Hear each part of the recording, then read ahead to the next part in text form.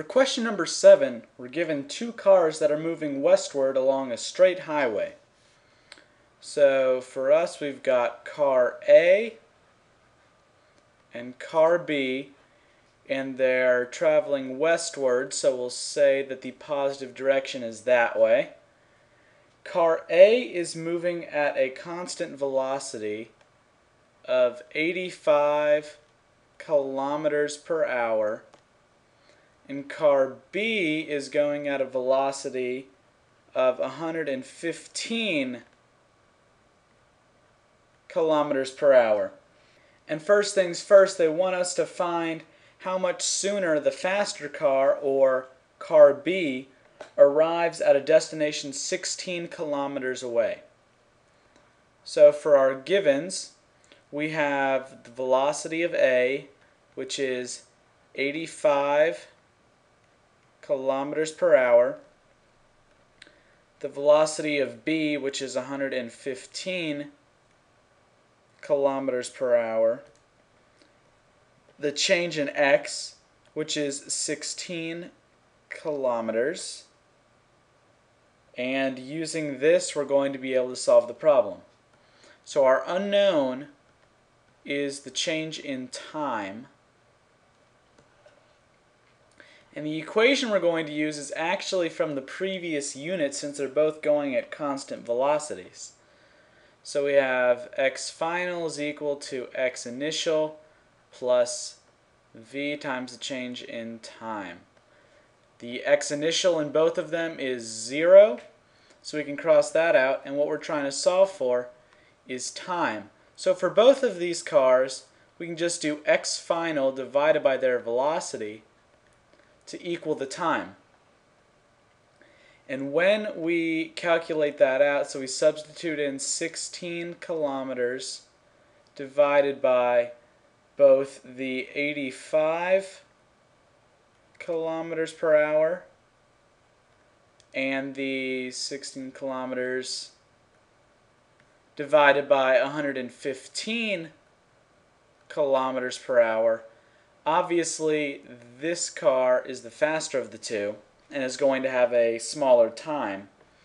So in order to find the time difference, we're actually going to take the one that's going to be a larger number right over here and subtract this number. Now the answer that you're going to end up with is going to be in hours. And for both of these, they end up with decimals. So this one ends up, and this is having rounded it, 0.188 hours. And this one ends up with 0.139 hours. And when you subtract these, you get about 0.049 hours. Now, no one is going to know what 0.049 hours actually is. It's such a strange term, no one's going to be able to recognize it. So what you're going to have to do is convert it into seconds. So what I'm going to do is the dimensional analysis from earlier, and once again I'm writing slanted that looks like, but for every one hour there are 60 minutes. For every one minute there are 60 seconds, and you don't actually have to write all this out. All you have to remember is if you multiply whatever you have in hours by 3,600, you're going to get it in seconds. And the answer you get from just doing dimensional analysis from the rounded number is 176.4 seconds. However, if you don't round the numbers, if you save them in your calculator like I was telling you to earlier, you're going to end up with the 176.78 seconds as your change in time for the final solution. And the whole point of this problem is to kind of show you how you can take multiple equations and relate them even if they're for different objects. And part B of this problem is actually really showing us this because it's asking us how far the cars have to travel for the faster car to arrive 15 minutes before the slower car. So once again, we've got similar givens, though we don't have a change in x. We're actually trying to find the change in x. And instead, our given is that the time for A minus the time for B, or the longer time minus the shorter time, is going to be a quarter of an hour. And the reason I wrote that instead of 15 minutes is because both of their velocities are in terms of hours. So therefore, our minutes have to be in terms of hours, and 15 minutes is a quarter of an hour. And our unknown, in this case, is the change in x. So for our equation, once again, we're going to use the same equation but we're going to change it up a little bit. Now we're looking to see when the x final is technically the same for both cars even though they're going to be having different times. So what we can actually do is by using the transitive property or a is equal to B and B is equal to C, then A is equal to C, that sort of thing. If the velocity of car A and the change in time for car A is equal to the final x position, and that final x position is also equal to velocity b times the change in time for b, then these two are actually the same. So what we can do is combine, so it's velocity a times change in time a is equal to velocity b times change in time b. And the way we're actually going to substitute this in, because now we're on the substitute, what we're trying to find in this equation, since we no longer have the change in x, we're trying to find the time that it takes to get to that position for either one of the cars and then we're going to plug that back into that car's velocity equation in order to get the correct answer. So for velocity A we've got 85 kilometers per hour and for the time we actually have the change in time for B plus a quarter of an hour. And that is just because and that is just because we want car B to arrive at the location a quarter of an hour before car A does. So we can just add a quarter of an hour to car B's time in order to get the time for car A. Hope you guys could follow that. And then we can plug in the values for car B, so 115 kilometers per hour times the change in time for car B. So what we can end up doing is distribute that and that. So we have 85 kilometers per hour times the change in time for car B plus 21.25 kilometers is equal to, and I'm running out of room here on the side, bear with me, is equal to 115 kilometers per hour times the change in time for b. And what we can do is subtract this term to the other side. And what we're left with is 21.25 kilometers is equal to 30 kilometers per hour times the change in time for b. From here, if we were to divide by 30 on both sides, what we're left with is 21.25 kilometers divided by 30 kilometers per hour as the change in time for car B. And that 21.25 divided by 30 is approximately 0.71 hours. And I'm just going to save that in my calculator like you guys should be doing because it's not exactly that. We want to get as precise of an answer as we possibly can.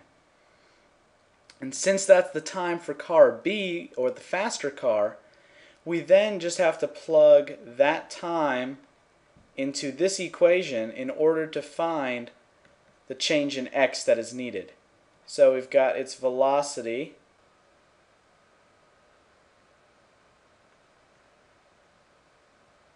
times the amount of time taken.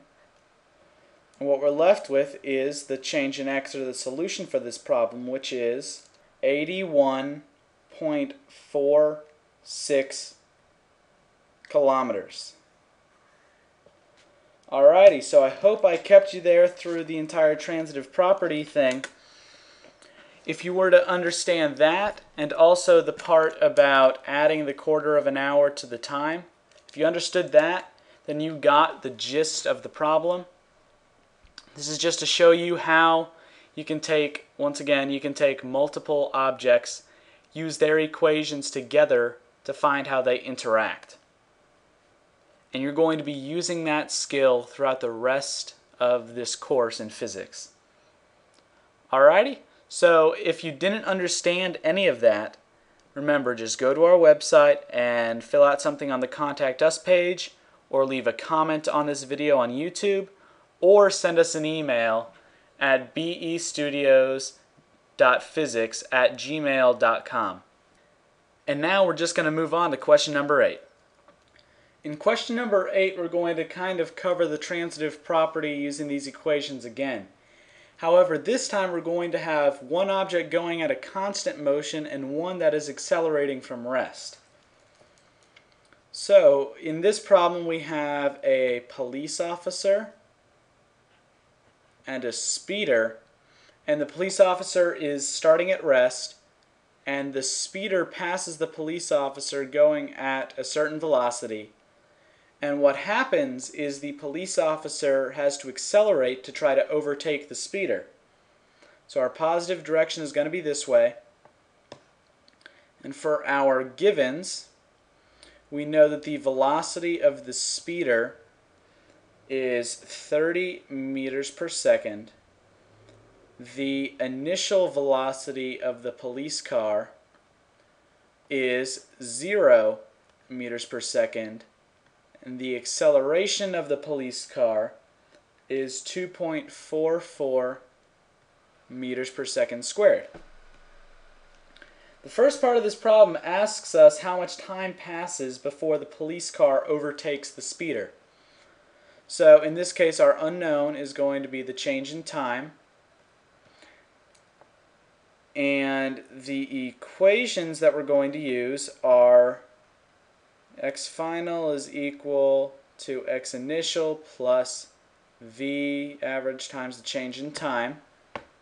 For the speeder and for the cop we're going to use x final is equal to x initial plus the initial velocity times time plus 1 half the acceleration times time squared.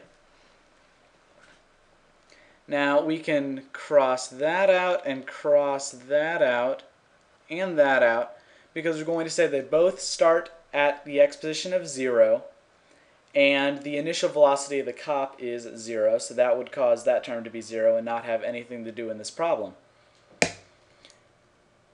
From here we're going to uh, use the transitive property and combine both of these problems together using the x finals.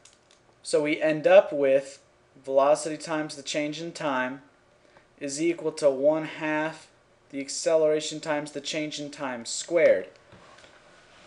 Now if we were to divide by time on both sides, we would have the velocity of the speeder is equal to 1 half the acceleration of the police car times just the change in time because uh, the squared ends up canceling out.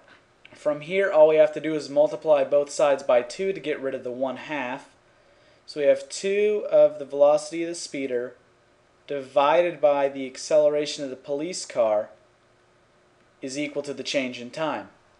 From here, all we have to do is substitute in. So we have 2 times 30 meters per second divided by 2.44 meters per second squared. And the answer that that gives us is 24.59 seconds as the amount of time that it takes for the police car to overtake the speeder. The second part of the problem asks us how far the speeder gets before he's overtaken by the police car.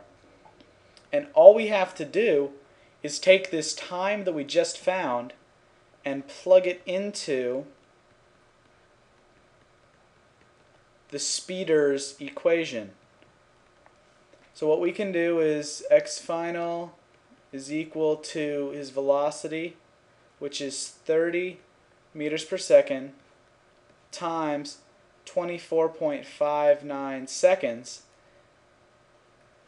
as the substitution, and the solution that we get from that is 737.7 meters as the distance that the speeder gets from the police car.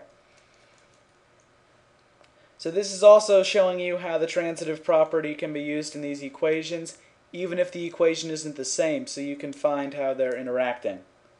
So we're just going to keep on moving to question number 9.